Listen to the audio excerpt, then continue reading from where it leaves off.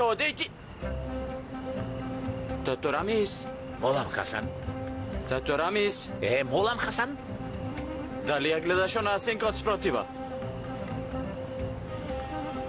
А, ја видов. На што ти личи? А, не можам да препознам. Дали е можно да биде мечка? мечка, Хасан. Мечка е, тато Рамис. Доаѓа кај нас. Жими се доаѓа. Мечка е. Да се преправаме дека не ја гледаме, може и таа нема да не види. Но не виде. Бегај, Хасан, бегај! Господе! Дрчај, Хасан! Чувај ме!